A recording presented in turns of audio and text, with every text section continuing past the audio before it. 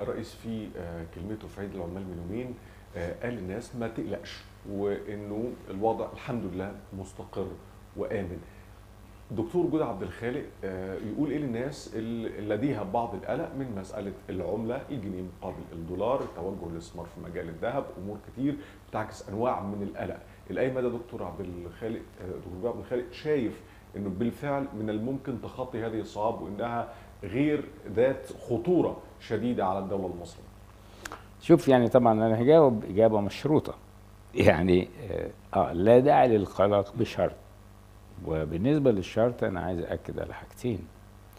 إذا حسنت النوايا وصدق العزم. حسنت النوايا وصدق العزم. مؤكد إن إذا صدق النوايا وطنيا وحسنت النوايا وصدق العزم على التنفيذ وخرج من عملية الحوار الجميلة اللي إحنا آه، منغمسين فيها حاليا آه، محددات لأولويات العمل الوطني في المجال الاقتصادي.